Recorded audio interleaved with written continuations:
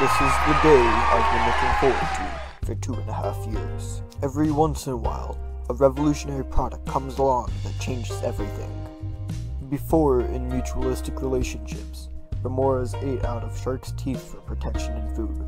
Clownfish cleaned anemones for protection, and cleaning shrimp ate gunk out of an eel's teeth for protection. Wow, sure is a lot of cleaning going on. but we wanted to try something new. The Langur production troupe went searching for a business partner, and I am proud to announce a product in association with Chital Herd Incorporated. Are you going to clean the teeth for food?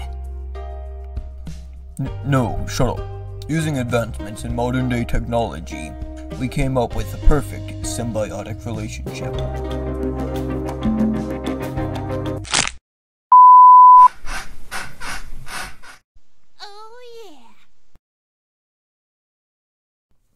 Looks like a monkey hanging off of a deer. Exactly.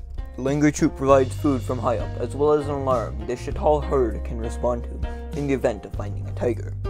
The deer provides food from below with their high-tuned senses, as well as transportation for the small Langur monkey. Furthermore, the Chital can also alert the monkey while it is off foraging in the trees. Forming such relationships is now a natural instinct of Langur monkeys and Chital deer. Thank you. Thank you. Thank you. Thank you. So thank you very, very much for being part of this. Good night, everybody.